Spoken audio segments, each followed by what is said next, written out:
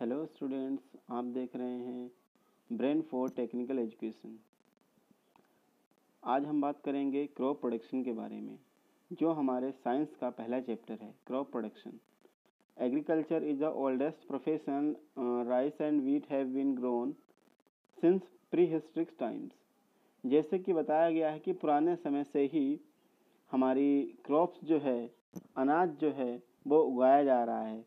जैसे चावल हुआ, गेहूँ हुआ। Plant grown to obtain various food product like cereals pulses oil sugar fruits and vegetables and other product like cotton and jutes जैसे हमारा अनाज हो गया, दालें हो गई, तेल हो गया, चीनी, फल, सब्ज़ी, ये सारी खाने की चीज़ें हैं जो क्रॉप्स के अंतर्गत आती हैं, जो फ़सलों के अंतर्गत आती हैं। जैसे हमारा कॉटन हो गया या जूट हो गया ये सारी चीज़ें हमारे क्रॉप प्रोडक्ट कहलाते हैं क्रॉप इज़ दस एनुअल और seasonal seasons yield any plants that other product like cotton and jute a crop is this the annual and seasons yield of any plant that is grown significant quantities to be harvested as food, livestock, fodder, fuel or uh, or for any others purpose. यानी जो crops है, वो हम खाने के साथ साथ बहुत सारी चीज़ों में यूज़ करते हैं और उसको किस तरीके से रखते हैं, किस तरीके से हम उसका ईंधन के रूप में यूज़ करते हैं और बहुत सारे पर्पस होते हैं जिसको, जिसके कारण हम फ़सलों को उगाते हैं प्लांट्स को ग्रो करते हैं, जिनका बहुत सारा पर्पज होता है। क्रॉप्स या खाने के यूज़ में तो होता ही होता है, लेकिन इसके साथ साथ बहुत सारे इसके पर्पज होते हैं जिसके बारे में हम डिटेल से पढ़ेंगे। Animals are raised any age they also give the food product like meat eggs and milk practice of grown growing crops is called the agriculture जैसे जानवर। अब जानवर भी हमें बहुत सारा यूज़फुल uh, होते हैं हमारे लिए। जैसे उनसे हमें मीट मिलता है एग्स मिलते हैं मिल्क भी मिलता है। तो ये सारे हमारे फ़ूड प्रोडक्शंस में काम आते हैं जो हमारे लिए कहीं ना कहीं भोजन के रूप में हमें यूज़फुल होते हैं। अब बात करेंगे हम सबसे पहले क्रॉप्स की। अब क्रॉप्स क्या होती हैं? When the plants the same kind are grown in cultivated at the place on a large scale it is called the crop जैसे कोई भी पौधा हुआ, कोई भी प्लांट हुआ, जब एक से ज़्यादा अमाउंट में मतलब उसको एक से ज़्यादा जगह में उगाया जाता है या प्लांटेड किया जाता है लगाया जाता है तो वो प्लांट हम फ़सल के रूप में मानते हैं या उस प्लांट्स को हम फ़सल कहते हैं। जैसे गेहूँ है तो गेहूँ का अगर एक पौधा है तो वो हमारा क्रॉप्स नहीं हो सकता लेकिन गेहूँ के बहुत सारे प्लांट्स लगा दिए जो मिलियंस या आ, खेत में बहुत सारी जिनकी हम गिनती नहीं कर सकते हैं तो उसको हम क्रॉप बोलते हैं। तो ये क्रॉप्स जो होती हैं मेनली फोर टाइप्स होती हैं फ़ूड क्रॉप्स हो गई कैश क्रॉप्स हो गई प्लांटेशन क्रॉप्स हो गई और हॉर्टिकल्चर क्रॉप्स हो गई। तो फ़ूड क्रॉप्स क्या होती हैं? It is grown for the production of food example pulses oil seeds sugar cereals crop इसमें हमारी जो चीज़ें होती हैं, जैसे दलहनी फ़सल जो बोलते हैं जिनको हम, जिनमें दालें वगैरह आती हैं, तेल आते हैं, चीनी है, ये सारे अनाज हैं, ये सारे हमारे फ़ूड क्रॉप्स के अंतर्गत आते हैं। Cash crops it is grown the commercial purpose example jute sugar cane cotton rubber etcetera ये चीज़ें जैसे जूट हो गया शुगर कैन हो गया कॉटन हो गया रबर हो गया, ये सारी हमारी चीज़ें कैश क्रॉप के अंतर्गत आती हैं ना plantation we will talk about rubber tea coffee and spices are grown on the plantation so these cash crops are of and called the plantations crop. These are cultivated on a large scale. Rubber हो गया tea हो गया coffee मसाले ये सारी चीज़ें बहुत बड़ी मात्रा में इनका उत्पादन किया जाता है तो ये चीज़ें प्लांटेशन क्रॉप के अंतर्गत आती हैं। अब हम बात करेंगे हॉर्टिकल्चर्स क्या होता है। Horticultures is a bunch a branch of the agriculture that deals with the technology of growing plants यानी हम प्लांट्स को किन किन नई नई तकनीक से ग्रो कर सकते हैं। ऐसी कौन सी टेक्निक्स है जिससे हम फलों को, सब्जियों को या क्रॉप्स को ग्रो कर सकते हैं? ये चीज़ हॉर्टिकल्चर क्रॉप्स के अंतर्गत आती है। अब इस हॉर्टिकल्चर में कौन कौन सी क्रॉप्स ग्रो कर सकते हैं कौन कौन से प्लांट्स को ग्रो कर सकते हैं इजिली ना we will define here it deals with the cultivation medical medical medicinal plants fruits vegetables nuts herbs sprouts mushroom etcetera crop that are grown under the supervision of the farmers in the large field is called the cultivated crops जैसे medicine plants हो गए या हमारे nuts हो गए स्पायरुड्स हो गए, mushrooms हो गए, ये सारी फ़सलें जो हैं, जो बहुत ही क्रिटिकल तरीके से ग्रो की जाती हैं, उनकी बात करते हैं हम यहाँ पे।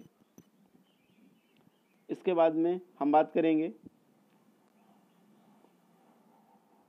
Crops can be classified on the basis of the seasons in which they grow and climatic conditions temperature humidity rainfall vary from uh, region to another.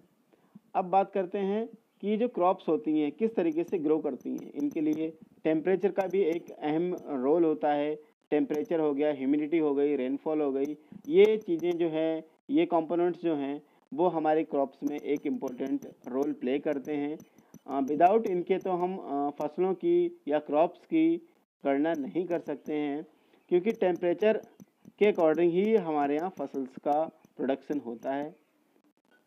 कुछ जगह ऐसी होती हैं जहाँ टेम्परेचर का बहुत अहम रोल होता है। जैसे ठंडी जगहों में जो होती हैं, वो अलग क्रॉप्स होती हैं, गर्म प्लेसेस पे अलग क्रॉप्स होती हैं और वर्षा वाले क्षेत्रों में अलग क्रॉप्स पाई जाती हैं, कम वर्षा वाले क्षेत्रों में अलग क्रॉप्स पाई जाती हैं। तो इसके अकॉर्डिंग हम बहुत सारी चीज़ें हैं जो इनका ह्यूमिडिटी है टेम्परेचर है वर्षा है, इनका एक इम्पोर्टेंट रोल होता है। अब बात करेंगे एग्रीकल्चरल प्रैक्टिसेस किस तरीके से हम करते हैं, किस तरीके से हम इसको अपने लायक बनाते हैं, किस तरीके से हम इसमें ज़्यादा से ज़्यादा क्रॉप प्रोडक्शन कर सकते हैं। To get a better and quantity wise a farmer follow the several practice over a period of a time किस तरीके से हम इनके क्वालिटीज़ को बढ़ा सकते हैं सॉइल की फर्टिलिटी को बढ़ा सकते हैं these are basis practice number one पहली चीज़ इसमें क्या है हमारे पास? Soil preparation for the cultivation by sowing sowing seeds with the help of the seed drill plough और हैंड सोइंग पहली चीज़ सॉइल प्रिपरेशन पहली चीज़ तो हम बात करेंगे सॉइल को किस तरीके से प्रिपेयर करेंगे, किस तरीके से कल्टीवेशन करेंगे, ये सारी चीज़ों के बारे में हम बात करेंगे। Sowing seeds with help of drill plow and hand sowing. हाथ से हम फ़सलों को भी बो सकते हैं। जो बीज हैं वो हाथों से बोए जाते हैं जब हमारे सॉइल है, जो हमारे लायक बन जाती है। इसके बाद थर्ड चीज़ है एडिंग फर्टिलाइजर्स इसमें हम फर्टिलाइजर्स को भी ऐड करते हैं। Irrigation by the tube wells अब हम बात करेंगे उसकी सिंचाई की, क्योंकि जब हमने बीज बोया है, वो ग्रो करेगा प्लांट बनेगा तो उसके लिए पानी की भी ज़रूरत होगी। तो हम उसको प्रॉपर अमाउंट में इरिगेशन भी करेंगे। प्रॉपर अमाउंट में उसको पानी भी देंगे। अगर हम पानी नहीं देंगे तो वो प्लांट जो है वो सूख जाएगा। ना, चौथी पांचवी चीज़ इसमें आती है। वीडिंग बाय द खुरपा and harrow by the using weedicides crop production by the spraying pesticides insecticides also जैसे खरपतवार हो गए या घास निकालना हो गया तो ये सारी चीज़ें हम खुरपा या हौरों से अलग करते हैं। Crop production by spraying of pesticides, इसमें हम जो इंसेक्ट लग जाते हैं या इनमें जो हानिकारक जीव उत्पन्न या कीड़े मकोड़े हो जाते हैं, उनको ख़त्म करने के लिए हम फ़सलों को बचाने के लिए इंसेक्टिसाइड्स का यूज़ करते हैं। Harvesting with the help of the silk skill and harvesters, हम इसको किस तरीके से काटेंगे थ्रेसिंग बाय द थ्रेसर भूसा बनाने के लिए हम थ्रेसर्स का यूज़ करते हैं और कंबाइंस का भी यूज़ करते हैं। Storage in a silos and granaries अब हम किस तरीके से इसको स्टोर करेंगे? जो हमारी मिट्टी होती है या हम फ़सलों में जो प्रोडक्शन होता है उसको किस तरीके से प्रोडक्ट करते हैं? तो ये सारी चीज़ें डिपेंड करती हैं हमारे सोयल प्रोडक्शन के ऊपर या हमारे प्रिपरेशंस के ऊपर। यानी हमारी तैयारी कैसी है? अब बात करेंगे सोयल प्रपरेशन जो पहली चीज़ थी, उसके बारे में बात करने जा रहे हैं। It is the first step to anchors the roots of the plant provide the oxygen minerals nutrient and water to the roots microorganism snails earthworm other microorganism live in soil and make it fertile the quality and yield the crops depend on the type of the soil soil preparation involve involve the following three steps बात करेंगे हम जो soil है, वो किस तरीके से इसमें कितनी मात्रा में न्यूट्रिएंट्स मिले हुए हैं, कौन सी मात्रा में कितनी चीज़ें मिलानी हैं, और क्या क्या माइक्रो ऑर्गेनिज्म पाए जाते हैं, जैसे केंचुए हो गए अर्थवॉर्म्स हो गए, या स्नेल हो गई तो कुछ इंसेक्ट्स जो होते हैं, वो हमारी स्वेल के लिए यूज़फुल होते हैं। तो ऐसे कौन कौन सी चीज़ें हैं जिससे हमारी क्रॉप जो है वो अच्छी होगी? सबसे पहली चीज़ आती है प्लोइंग, यानी खेत जोतना। Process of the loosing and the turning of the soil is called the tilling या ploughing this is done by the using of the plough if the soil is very dry when the watering is very much required before the ploughing यानी जो मिट्टी है, उस मिट्टी को loose कैसे करते हैं? उस मिट्टी के हल्के हल्के बारीक बारीक टुकड़े कैसे किए जाते हैं? तो ये होंगे प्लोइंग से खेत जोतने से जो मिट्टी होती है उसको थोड़ा आ, बिल्कुल रब कर दिया जाता है इजीली के बना दिया जाता है जिससे वो मुलायम हो जाती है जिसमें जो भी हम आ, बीज बोना चाहते हैं जो भी हम प्लांट उगाना चाहते हैं वो अच्छी तरीके से ग्रो कर पाए तो ये सारी उसको कंडीशन प्राप्त कराते हैं हम इन प्लोइंग कंडीशंस के द्वारा। तो प्लोइंग जो है वो हम कराते हैं ट्रैक्टर से भी करा देते हैं या बैलों से भी होता था पहले अब भी होता है लेकिन मोस्टली ट्रैक्टर से भी कराते हैं। Tools for the ploughing. अब बात करेंगे कि टूल्स कौन कौन से होते हैं जो प्लोइंग में यूज़ किए जाते हैं। टूल्स प्लोइंग में कौन कौन से यूज़ किए जाते हैं जिसके बारे में हमने बताया भी था कि मोस्टली ट्रैक्टर का ही यूज़ करते हैं, लेकिन पुराने समय में बुलक कार्स जो बैल होते थे, उनसे भी हम खेतों की जुताई किया करते थे। Various tools like plough hoe cultivator break soil to size of grains this helps the proper mixing of manure with the soil and also increase the yield both quantity and the quantity wise यानी जैसे मिट्टी है, उस तरीके से हम जो प्लो के टूल्स हैं, उसको यूज़ करते हैं। और मैन्योर को भी मिक्सिंग करने के लिए, जो खादें हैं, उनको भी मिक्सिंग करने के लिए हम टूल्स का यूज़ करते हैं। अब सबसे पहले बात करेंगे प्लो, यानी हल। हल कैसा होता था? हल जो होता था, वो एक लकड़ी की रॉड या लट्ठा टाइप का होता था, जिसमें आयरन की एक प्लेट लगी हुई होती थी, जिसको बैलों से जोड़कर खींचा जाता था, उसको हम प्लो या हर बोलते हैं। अब जो ट्रैक्टर से यूज़ करते हैं, जो हम इस समय यूज़ करते हैं तो उनमें ब्लेड्स लगे हुए होते हैं, जो ट्रैक्टर जिनको खींचता है। तो वो हमारे इस समय प्रेजेंट टाइम में हम यूज़ करते हैं। और लिखा भी है, देखिए cultivated nowadays ploughing share consist of the series of blades known as the cultivator जिसमें ब्लेड्स की एक लंबी लंबी सीरीज़ लगी हुई होती है, जिसको हम कल्टिवेटर बोलते हैं। Cultivator are attach to the tractor through the field and the help of the saving of energy जो ट्रैक्टर था, वो ये सारी चीज़ों को क्रिएट कर इसके बाद बात हम करेंगे लेवलिंग की।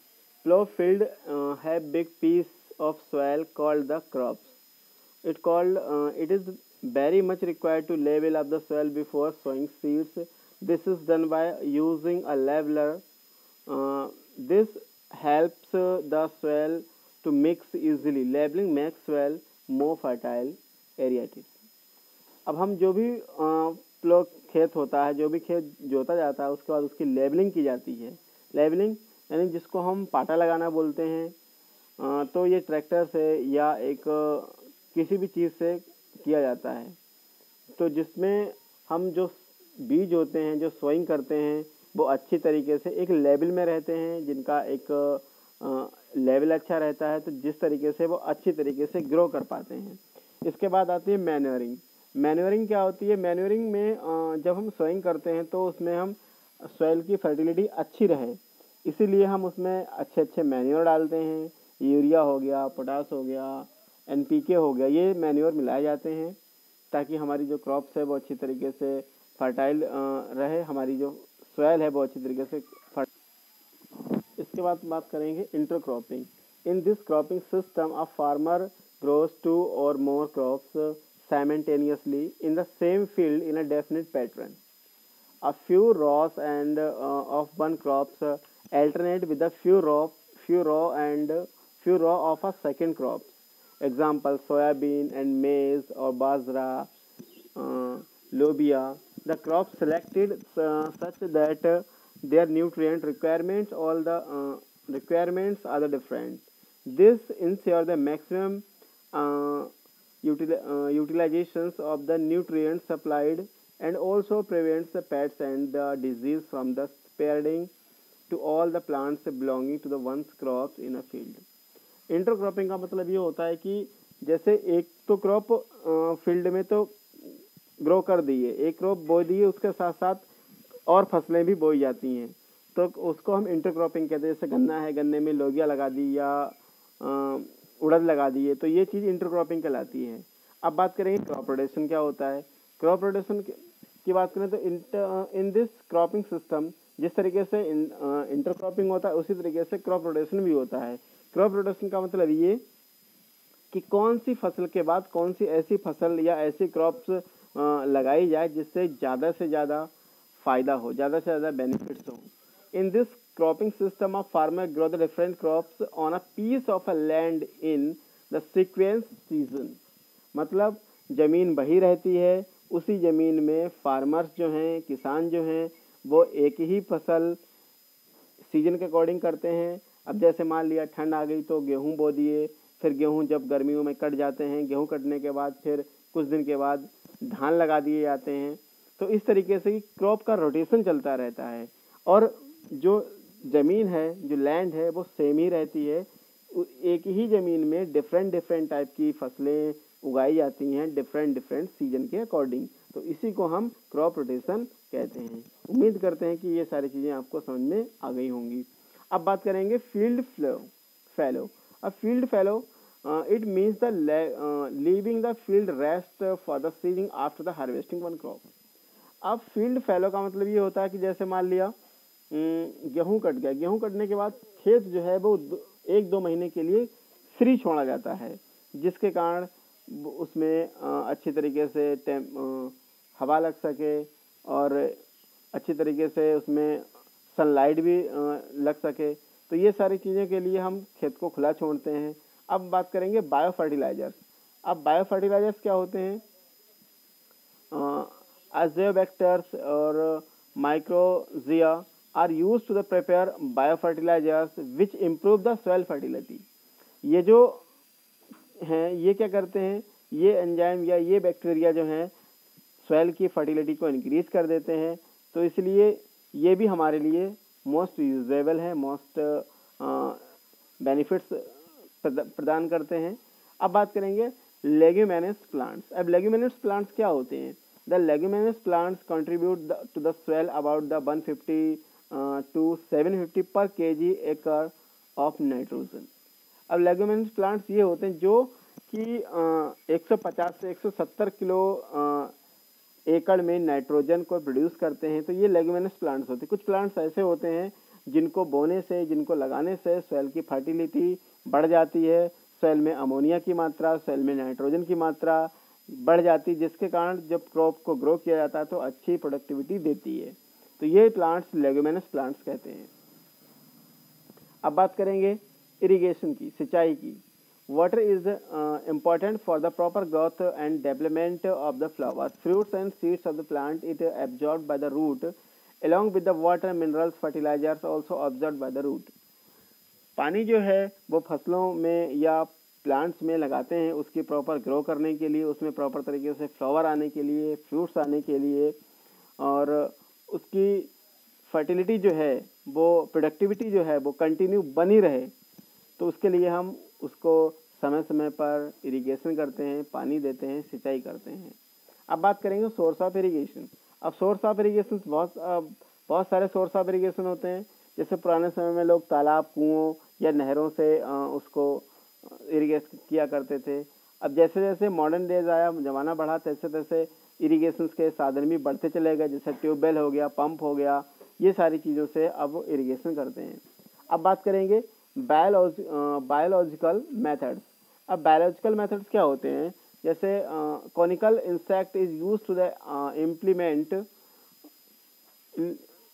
element prickly pear from the crop field insect natural enemy of the weeds and feeds of them scientists are trying to find the natural biological base to controlling weeds plants and pests and disease अब biological methods में ये आते हैं कि कुछ insects जो होते हैं वो खेतों के लिए यूजेबल होते हैं। कुछ इंसेक्ट्स जो होते हैं वो खेतों को नुकसान पहुंचाते हैं। तो ऐसे कौन कौन से तरीके हैं जिसके कारण जो इंसेक्ट हैं, जो खेतों को नुकसान पहुंचाते हैं, उनसे बचाव किया जा सके? तो यही मेथड्स जो होता है, ये तरीके होते हैं जिसको हम बायोलॉजिकल मेथड्स कहते हैं। अब बात करें क्रॉप प्रोटेक्शन क्रॉप प्रोटेक्शन का जैसे प्रोडक्शन से ही पता चलता है कि हम किस तरीके से किसी चीज़ का रख रखाव करेंगे? क्रॉप में आ गया तो क्रॉप किस तरीके से हम रख रखाव करेंगे? अब जैसे मान लिया rodents and insects, eat or the damage the crops जैसे चूहे हैं या बहुत सारे इंसेक्ट्स हैं जो क्रॉप्स को डैमेज कर देते हैं, ख़राब कर देते हैं। अब जैसे टिड्डी दल होता है, वो भी हमारी फ़सलों को ख़राब कर देता है। तो ये सारी चीज़ें ना लगें, ये सारी चीज़ें हमारे क्रॉप्स पे ना इफेक्टेबल हों तो इसलिए हम बहुत सारी इनको प्रोटेक्शन करते हैं उचित मात्रा में फर्टिलाइजर्स, मैन्योर डालते हैं ताकि जो हमारी क्रॉप्स है, वो डिज़ीज़ से बची रहे और हमें ज़्यादा से ज़्यादा प्रोडक्टिविटी प्रदान करें। फॉलोइंग केमिकल आर यूज़ अब बहुत सारे केमिकल्स हैं जो हम यूज़ करते हैं, जैसे इंसेक्टिसाइड डी है या बीएचसी है तो ये सारी चीज़ें हम यूज़ करते हैं। अब फंगिसाइड्स होते हैं, सल्फ़र है, कॉपर है, सल्फेट्स है जिंक सल्फाइड है या जिंक फास्फोरस है, ये सारी चीज़ें हम सोयल की फर्टिलिटी को बनाए रखने के लिए करते हैं, जिससे हमारी क्रॉप है जो बची रहती है और हमें ज़्यादा से ज़्यादा लाभ होता है। एडवांटेज ऑफ़ यूजिंग पेस्टिसाइड्स अब एडवांटेज ऑफ़ यूजिंग पेस्टिसाइड्स का मतलब क्या होता है कि पेस्टिसाइड यूज़ करने से हमें क्या क्या एडवांटेज होते हैं। अभी तो हम बात करेंगे इनके एडवांटेज क्या क्या हैं food production increase because these chemical kills pests and insects हम जो पेस्टिसाइड लगाते हैं तो जो प्लांट्स हैं या जो क्रॉप्स हैं उनमें जो इंसेक्ट्स होते हैं वो मर जाते हैं और जिससे हमें ज़्यादा से ज़्यादा फ़ूड क्रॉप प्राप्त होता है। It improve the quality because crops are not half eaten by them and there are no bore and holes it if them जब भी हम uh, ये सारी चीज़ें का यूज़ करते हैं तो हमारे जो ग्रेन्स होते हैं जो अनाज होते हैं तो उनको कीड़े नहीं खाते हैं उनमें होल्स भी नहीं होते हैं। और वो पूरे के पूरे अच्छे रहते हैं। अब बात करेंगे डिसएडवांटेज क्या होते हैं। यानी जो हम क्रॉप जो हम क्रॉप्स को बचाने के लिए, फ़सलों को बचाने के लिए इंसेक्टिसाइड्स का यूज़ करते हैं तो उनके जितने फ़ायदे हैं, उतने नुकसान भी हैं। तो नुकसान क्या है? तो जैसे मान लिया जो है हमारा, जो फूड्स क्रॉप्स है, वो हमारी फ़ूड चैन को भी इफेक्टेबल करता है और हमारी जो ग्रेन्स हैं, उनको भी जहरीला बनाता है और हमारी सॉइल फर्टिलिटी को भी कहीं ना कहीं नुकसान पहुंचाता है। तो हमें कम से कम मात्रा में पेस्टिसाइड्स का यूज़ करना चाहिए। ज़्यादा से ज़्यादा हमें हरी खाद का यूज़ करना चाहिए। अब बात करेंगे हार्वेस्टिंग हार्वेस्टिंग का मतलब फ़सलों को जब हमारी फ़सल पक जाती तो किस तरीके से हम उसका कटा, कटाव करते हैं। यानी काटना, फ़सलों को काटना ही हार्वेस्टिंग कहलाता है। Cutting of the crop when it is ready is called the harvesting जब फ़सल हमारी रेडी हो जाती है, तब हम इसको काटते हैं। यही प्रोसेस हार्वेस्टिंग कहलाता है। और ये हार्वेस्टिंग जो है, बहुत सारे मेथड से की जाती है, लोग हाथ से भी करते हैं और इनके लिए टूल्स भी आते हैं और मॉडर्न डेज़ में तो हार्वेस्टर्स का भी लोग यूज़ करते हैं। थ्रेसिंग भी यूज़ करते हैं। थ्रेसिंग में क्या होता है कि पहले फ़सल को काट लिया जाता है क्रॉप को काटने के बाद उसको सुखाया जाता है। सुखाने के बाद बफेलो या ट्रैक्टर से उसको निकाल लिया जाता है। इसी को हम थ्रेसिंग कहते हैं। थ्रेसिंग में क्या होता है कि भूसा बन के अलग हो जाता है थ्रेस हो जाता है। थ्रेसिंग का मतलब जो बेकार चीज़ें हैं, वो अलग उड़ जाती हैं और जो काम की चीज़ है, वो हमारे पास आ जाती है। तो थ्रेसरिंग इसलिए यूज़ करते हैं ताकि जो लोग अपना जानवर्स होते हैं जिनके पास एनिमल्स जो प्रोडक्ट करते हैं, उनके लिए थ्रेसरिंग का बहुत बड़ी मात्रा में यूज़ भी है। इसके बाद बात करेंगे हम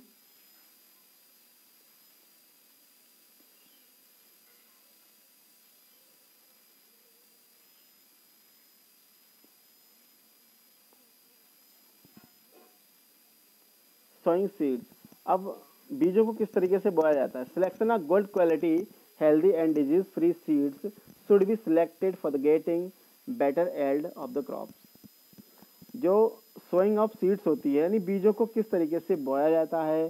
तो बीजों को बोने सबसे पहले क्या करते हैं? बीजों का सिलेक्शन करते हैं। अच्छे जो सीड्स होते हैं, जो गुड सीड्स होते हैं, उनको निकाला जाता है, जो ज़्यादातर हम ग्रेन स्टोर करके रखते हैं, उसमें से अच्छे अच्छे बीजों को निकाल लेते हैं, उसके बाद हम उसको सो करते हैं। तो बीज बोने का, या बीज सोइंग करने का बहुत सारे तरीके होते हैं। लोग ट्रैक्टर से भी करते हैं ड्रिल के द्वारा, हाथों से भी किया जाता है। तो ये डिपेंड करता है हमारे ऊपर कि हम किस तरीके से उसको ग्रो करने, करना चाहते हैं, किस तरीके से सोइंग करना चाहते हैं। अगर ड्रिलिंग से करते हैं तो इनकी जो प्लांटेशंस होता है, जो इनका पेड़ों का जो रो होती है, वो एक रेगुलर रहती है और जैसे अगर हाथों से सो करते हैं तो वो इरेगुलर हो जाता है। Tools use for the sowing seed traditional tools यानी हाथों से करते थे सीडिंग ड्रिल्स अभी मैंने बताया आपके लिए। अब एडिंग मैन्योर एंड फर्टिलाइजर्स ये भी मैं आपको एक्सप्लेन कर चुका हूँ कि फ़सलों को अच्छी प्रोडक्टिविटी प्रदान करने के लिए हम इसमें मैन्योर को मिलाते हैं। अब preparation of manure compost farm yard manure इसके बारे में बात करेंगे तो लोग कंपोस्ट भी अपने घर पे बनाते हैं। तो क्या करते हैं, जो फार्मर्स होते हैं, जो एनिमल्स का गोबर होता है, या एनिमल वेस्टेज होते हैं तो जिनको क्या करते हैं, एक पिट खोद देते हैं, गड्ढा खोद देते हैं, जिनमें ये वेस्टेज जो होते हैं, वो इकट्ठा करते रहते हैं। और कुछ जो न्यूट्रिएंट्स जो आते हैं, जैसे नाइट्रोजन है फास्फोरस है, उनमें अलग से मिला देते हैं, या अर्थवॉम्स छोड़ देते हैं तो वो क्या करते हैं, इस इन जो बेस्टेज होते हैं एनिमल बेस्टेज को खाने के बाद उस बेस्ट को अच्छा बना देते हैं जो स्वेल के लिए यूजेबल होता है यूजफुल होता है। Other methods of the replenishing soil In this cropping system, the farmer grows two or more crops simultaneously in the same piece land. ये भी मैंने बता दिया था अभी आपको कि मिक्स यानी जो मिक्स खेती होती है वो किस तरीके से करते हैं। ये सिंचाई के सिस्टम है कि लोग किस तरीके से सिंचाई करते थे। ये डेकुली है, ये चैन पंप है, ये पुलिस सिस्टम है। जैसे जैसे जमाना बढ़ा तैसे तैसे ही सिंचाई के जो सिस्टम थे, वो चेंज होते चले गए। अब फरो इरीगेशन क्या होता है? Water entered modern modern methods of irrigation. अब नए सिस्टम क्या आ गए, सिंचाई करने के? Furrow irrigation basin irrigation water enter the field through the furrows या canals made the between the two rows of the crops plants plants is planted on the ridges अब फॉरो इरिगेशन क्या होता है कि लोग uh, खेतों में नालियाँ बना देते हैं जिसमें वाटर को छोड़ देते हैं और जिसके कारण जो पानी है वो प्लांट अब बेसिन इरीगेशन क्या होता है? It is utilised only for the paddy crop the enter field from is field with the water made over flooded कुछ फ़सलें ऐसी होती जिनमें ज़्यादा पानी की मात्रा ज़्यादा पानी की ज़रूरत पड़ती तो उनमें उसके अलग तरीके से हम इरीगेशन को करते हैं। उसके बाद बात आती है स्प्रिंकलर सिस्टम स्प्रिंकलर सिस्टम में क्या होता है कि ये जो जितनी फ़सलें हैं उसमें जिस छिड़काव किया जाता है जगह जगह स्प्रिंकलर लगा दिए जाते हैं तो उसमें एक रोटेटिंग नोज़ल लगी हुई होती है। जो रोटेटिंग नोज़ल होती है, वो क्या करती है? पानी को फब्बारे के अकॉर्डिंग, फब्बारे के जैसे चारों तरफ़ बिखेरती रहती है और पानी का वेस्ट ना होकर सीधे पत्तियों या प्लांट्स के ऊपर पहुँचता है, जिससे क्या होता है कि जो वाटर है, जो वेस्ट नहीं होता है, या ऐसी फ़सलों में स्प्रिंकलर सिस्टम का यूज़ करते हैं, जिनमें कम पानी की ज़रूरत होती है। अब ड्रिप सिस्टम क्या क्या होता है? Water falls drop by drop just at a position of the roots drip system ये होता है कि जो प्लांट्स में होते हैं, उनमें ड्रॉप बूंदों के अकॉर्डिंग पानी गिराया जाता है। जैसे गार्डन हो गए, या और भी प्लांट्स हो गए। जैसे हम अपने फूलों में कौन सा जब पानी लगाते हैं तो किस सिस्टम से लगाते हैं? ड्रिप सिस्टम से पानी लगाते हैं। अब बात करेंगे बीडिंग बीडिंग अभी मैंने पहले भी थोड़ा बताया था। अब फिर से एक्सप्लेन कर, किए दे रहे हैं। बीडिंग ये होता है कि जो भी हमारे वेस्टेज प्लांट्स होते हैं, उनको अलग किया जाता है। Removal of the weeding unwanted plant may grow naturally around with the crops यानी ऐसे प्लांट्स जो नेचुरली क्रॉप के साथ ग्रो कर जाते हैं तो उनको हम अपनी क्रॉप से निकाल कर अलग करते हैं, यही प्रोसेस बीडिंग कहलाता है। Weeding by the using equipment अब बीडिंग जो है वो बहुत सारे इक्विपमेंट्स उसमें यूज़ किए जाते हैं, जैसे हैंड पुलिंग हाथ से खींचकर प्लांट्स को निकालना। अब कुछ प्लांट्स जो इतने, जिनका स्टेम इतना मज़बूत नहीं होता, वो तो हाथ से निकल आते हैं, लेकिन कुछ प्लांट्स ऐसे होते हैं जो हाथ से नहीं निकलते तो जिनके लिए टूल्स का यूज़ करते हैं। खुरपी हो गया या फावड़ा हो गया, ये सारी चीज़ें बीडिंग में यूज़ की जाती हैं। उसके बाद यूजिंग बीडिंग साइट्स खरपतवार नाशक बहुत सारी चीज़ें जो हैं तो इनको भी यूज़ करते हैं। Four D di chlorophenoxy acetic acid two four D M C P A chloromethyl phenoxy acetic acid या ब्लूचर ये सारी चीज़ों को हम यूज़ करते हैं। तो ये तो बात थी हमारे बीडिंग की। इसके बाद में हम बात करेंगे। क्रॉप प्रोडक्शन तो बता ही चुके हैं आपके लिए हार्वेस्टिंग भी बता दिया है थ्रोस्टिंग भी बता दिया है। इसके बाद में आता है हमारा स्टोरेज अब स्टोरेज क्या होता है? जो फ़सल हमारे लिए या जो क्रॉप हमारे लिए मिला है, जो ग्रेन हमारे लिए मिला है तो उसको हम अपने घर में या तो बैग्स होते हैं या स्टील के या आयरन के जो बड़े बड़े बैग्स होते हैं तो उनमें हम कंज्यूम कर लेते हैं, उनमें स्टोर कर लेते हैं, रख लेते हैं आगे के लिए। Before the storage the grain have the to be dried to prevent the growth of the micro organism जब फ़सल कट के आती है तो उसमें हम थोड़ा धूप लगाते हैं ड्राई करते हैं, सुखाते हैं, सुखाने के बाद हम उसको स्टोर कर लेते हैं पैक कर लेते हैं। They are dried in the sun and then packed in the bags since before the storing in the granaries this help to reduce the some extent damage cause by the rodents यानी सड़ने से, गलने से ये चीज़ें बचाती हैं। और उसमें कुछ ऐसी चीज़ें भी मिला के रख देते हैं, जिससे ताकि जो हमारे ग्रेन्स हैं, अनाज हैं, वो ख़राब ना हो। अब food from animals animal food is rich in protein and it is source of carbohydrates and fats also ऐसा फूड्स ऐसा भोजन जो हमें जानवरों से मिलता है। उसमें अधिकतर मात्रा में प्रोटीन भी होता है कार्बोहाइड्रेट्स भी होता है फैट्स भी होते हैं, जैसे मिल्क हो गया। एनिमल हस्बेंड्री क्या होती है? Animal reared at a home or a farmer farm have to provide with the proper food shelter and care to improve their breed and to meet the demands of the growing population for the important factors of animal husbandry breeding feeding weeding heeding तो यानी ये सारे जो हैं, वो animals को protect करने के एनिमल्स को अधिक मात्रा में प्रोडक्टिविटी जैसे दूध है तो दूध की प्रोडक्टिविटी बढ़ाने के लिए लोग अपने घर में डेयरी खोलते हैं और, जैसे हमारा एग्स है एग्स की प्रोडक्टिविटी बढ़ाने के लिए लोग पोल्ट्री फार्म खोलते हैं। तो ये जो हैं, ये ये जो हैं, ये फ़ूड कहलाते हैं, जो हमें एनिमल से मिलते हैं, यानी फ़ूड फ्रॉम एनिमल्स ऐसे फ़ूड जो हमें एनिमल से प्राप्त होते हैं फ़ूड एनिमल्स कहलाते हैं। तो आशा करते हैं, पूरा लेसन आपको समझ में आ गया होगा।